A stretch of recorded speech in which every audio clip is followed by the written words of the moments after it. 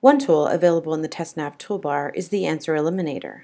This tool can only be used for multiple choice questions, and the icon is a circle with an X in the center of it.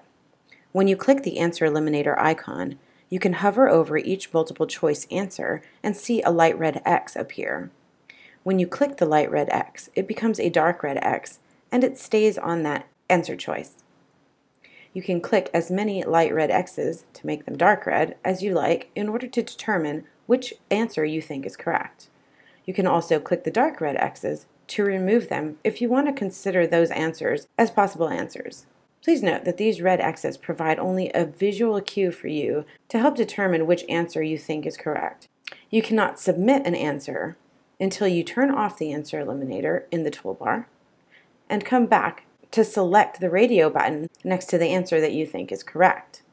You can then click Next to go to the next question.